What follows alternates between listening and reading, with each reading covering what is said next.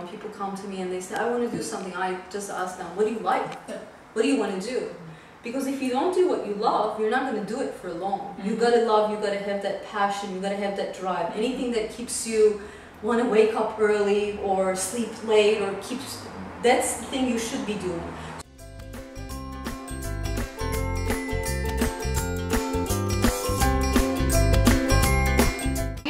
Goes. Once you're confident, people and you convey that. Uh, so once you convey it, people start trusting you and people start investing in you.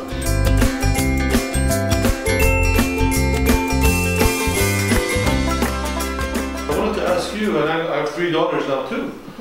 What was the most effective thing against the glass ceiling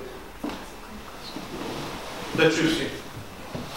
Uh, the most effective glass ceiling is success. If you've done something good and uh, you have solid information about something, they notice you and they start respecting you.